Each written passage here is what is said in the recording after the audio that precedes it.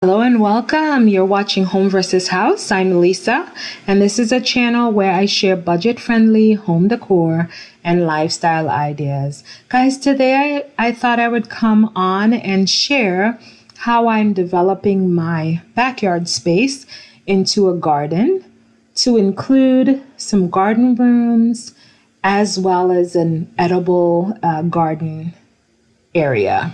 So let's get started um, as I take you around. So, this first space is what I consider like a living room, a lounge area of my backyard, and it's just off my patio. So, this seating arrangement was a DIY project that I made using um, two wooden crates on the inside, and then I just used some lumber that I got from the restore um, a while back, and I just had it sitting in my garage. Um, I used it to kind of encase the um, the wooden crate to create the seating arrangement.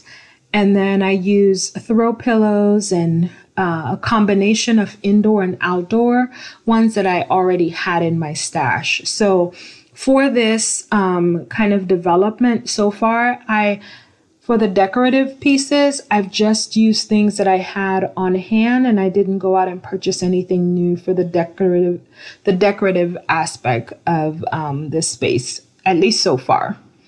Um, so let's see. And then I I um I just created this really nice um, nook um, that I've been enjoying for a couple of weeks now, where I just sit out here and have some um, some tea, um, whether cold or hot, depending on the time of the day. Um, and uh, here I have some mint tea, and the peppermint was um, also came from my garden on the side, actually, of my home. So, yep, really nice, cozy space, guys, uh, to enjoy. Um, I've even sat out here in the latter part of the mornings, and even with the sun being hot, it is a cool spot um, in my backyard. So, I, I appreciate that. And then here, I just created this kind of border um, with some metal wall, wall um, hangings that I had um, that I had picked up thrifted uh, many years ago. And then I used some plants. My plants I've already had. They're a combination of indoor plants and some outdoor plants. This right here is my indoor spider plant and it's sitting in my fire pit that I'm using as a plant holder. And I hope for the fall season to build that fire um, pit up um, to uh, to look a little different. But for now, that's it works, um, and I really like it in this space. And then I just have um, a thrifted um, little um, holder thing that I'm holding some wood or some firewood guys so the the ground cover i used here are a combination of some river rocks pea gravel and then some other rocks that i um that I had. So it's a combination. I purchased some and then I also had some in other areas that I just kind of moved over here. And um, this is my strawberry plant. So this came back from last year, and I even see that there's some little bitty um, strawberries on it. So I, um, I'm looking forward to adding that to my salad here, guys. What else? I think the strawberry is the only edible section that I have here. So, yep, this is my little lounge area. And then I use these metal um, wall decor pieces that were thrifted many years ago. I used it in this space as well. Um, this is another spider plant that I am trying to revive. I had put it out in the earlier, um, in the colder um, times of the year, and it got some frostbite, so I'm trying to revive it. All right, here's another um, decorative piece that I've had for quite some time. And then guys, this second room, so to speak, is my dining area. And this is on my back patio. Um, I, this table, I was a DIY project that I did using some like siding um, pieces of wood that I got from the restore a while back. It's over a table that I had, a small kind of side table that I had. I'm using the legs to that, and I just attached the wood to that table to create this dining um, table here that I really like. I also use it as like my potting table and things like that. But um, so it's multifunctional. Um, and then I just have some thrifted dishes um, and my DIY napkin. Um, and I I chose the, some floral pieces just to add to the garden ambience here. Um, I'm also using a pop of blue in this space. So I've been kind of fascinated with blues for uh, for the summer, which I haven't. I usually use blue in my space for winter, but I'm exploring the summer look of blue this year. Um, this uh, outdoor rug I picked up from Walmart at the end of the season last year. And then my four, these are four folding um, chairs that I had gotten from a friend of mine probably over four years ago. I was sitting in my garage. Guys, so underneath my steps, I just have my uh, smoker here um, slash grill. And then I just use some of that rocks, the combination of pea gravel and river rocks, and so to um, just go around the patio area, at least the these two corners or sides of it. And then out in the grassy area, that's where my dog kind of, you know, um, run and play for a little bit. Um, so I left that area um, so that he can enjoy. So, guys, yeah, that's my second room. So that's my back porch, and it's just down um, below of that. So, yeah, I really am happy with the way this turned out. This was definitely a thrifty project. Um, lots of DIY and thrifted items and repurposing and just kind of shopping my home um, for the things that I could um, shop my home for. All right. Well, let me take you to the garden area um, of this. So I have a few assorted um, plants and I'll probably do a plant video next time where I identify some of the plants um, here. But um, yeah, I just wanted to show you um, how I arrange the plants, at least in this video. Um, a lot of the plants, uh, actually all the plants back here are plants that I had in other, except for the vegetables um, are plants that I had in my front yard, and I recently got a tree a, a tree limb cut off, and it opened up um, a sunnier spot. So I had to um, move around some plants, some shaded plants back in the shaded area here, and then I also have some sun, um, some plants that um, are sun lovers and I didn't pay attention to it at first. And so um, now I've moved it back here where there's more sun.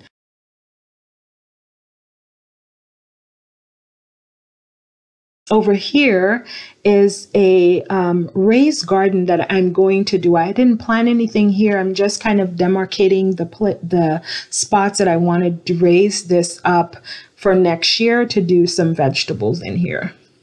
Over in this area, um, I used some cinder blocks that I had on hand um, to create this little space. Um, and then I planted a combination of some like um, annuals from seeds as well as some herbs. I think I have basil out here and uh, a couple other basil. I have peppermint um, and then something else. I can't remember. And then I have some um, uh, bearded iris that I had in the front um, in my front garden and I moved them over here as well. The cinder blocks and the wood that you're going to see in this space is, um, I had that and last year I used that to create a seating arrangement um, on my back porch and this year I've repurposed it. So um, yeah, this gate kind of slash area is something that I'm using to just kind of mark off um, the grassy area where my dog um, kind of where he plays around and do his business. I had that marked off to like my garden area. And these railings, metal railings, I picked up from my neighbor. My neighbor threw it out. And um, I don't have a, um, my backyard is not fenced in. And so I just kind of used it here as a partial, again, to just kind of separate that space to create this half wall, I suppose.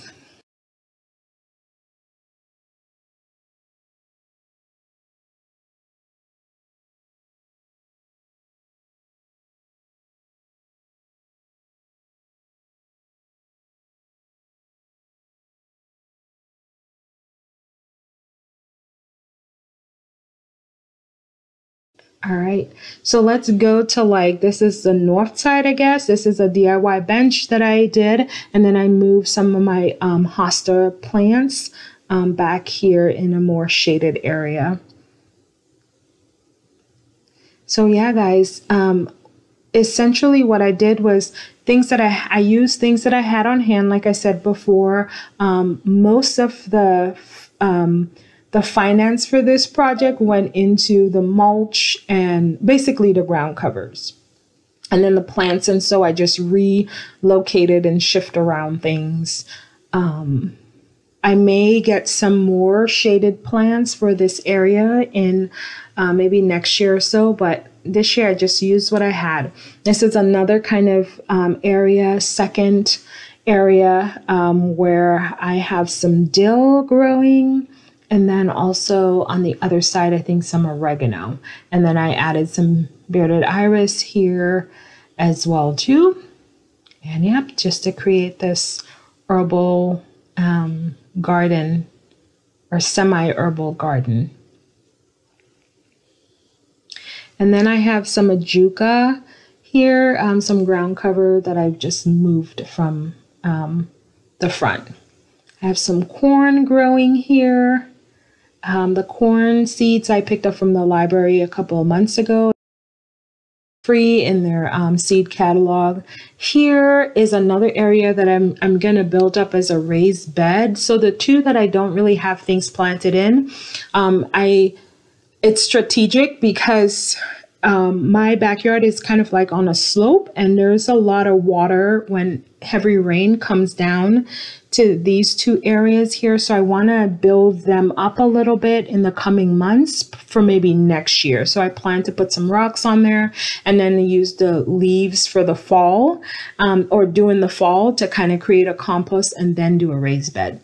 Over here is my third room. It's my little coffee room.